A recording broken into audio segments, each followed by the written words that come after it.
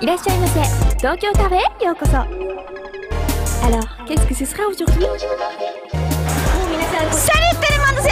私ハム太郎の隣にいます。ここはですねアミューズメントテーマショーということで一体どんなアミューズメントがあるのか。ああもちろんねみんなねゲームセンターでいろいろ見たと思うけれども私がやるのはそんなものは紹介しません。さあ見てみよう。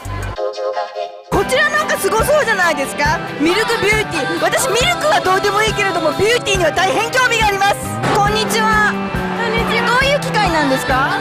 これはですね今回はふんわり柔らかく綺麗に取れるはいプリントシール機です。全身が取れたりもするんですね。すごいですね。ブログブログアイテムにもなるんですね。そうです。これは撮った写真が直接デコメになります。でこネイルセットっていうのを選択していただくとデコレーションネイルとして携帯に転送されるのでそのままお友お誕生日おめでとうメールお祝いメール季節のメールなどが送れます。なるほどすごいですね。私ちょうどねプリクラ世代なんですけどあっという間に進化してますね。ラスカルラスカル発見です。ラスカルがヒョウになってる。私ね今ねこれなんでこんなところにこのあのアミューズメントマシンショーでこんなぬいぐるみがあるかと言いますとこれは全部ですねプライズ。UFO キャッチャーの商品なんですね。なんと日本では。グイーン。ガチャグイーン。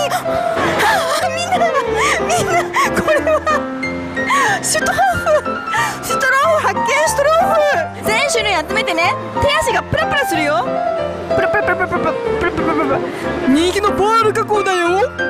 日本ではスマーフという名前です。スマーフ。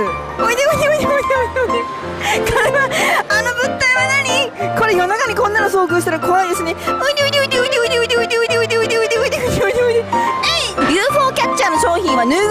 はなくなんとお菓子なんかもあるんですよ。食べ物もプライズ商品として存在しています。これカップラーメンセットですね。このチョコレートなんかも取れるんですね。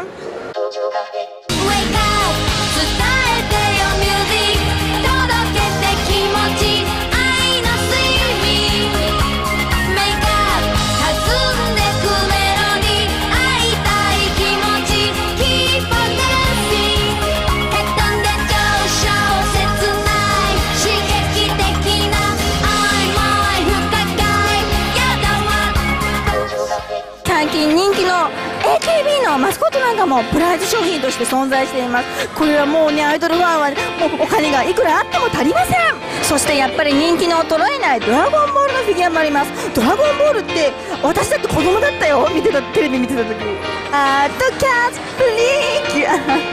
プリキュアのプライズももちろんあります。そしてもちろん人気といえばピッカチュウということでありがとうございます。ケモンピカチュウもいます。これ可愛いんですよピカチュウが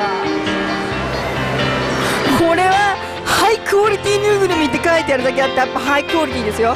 これねあの ピカチュウにメイク道具もしまいます。ということで皆さんいかがだったでしょうか？こっちってみんなこっちも来てね。じゃあねふむれこんぶれ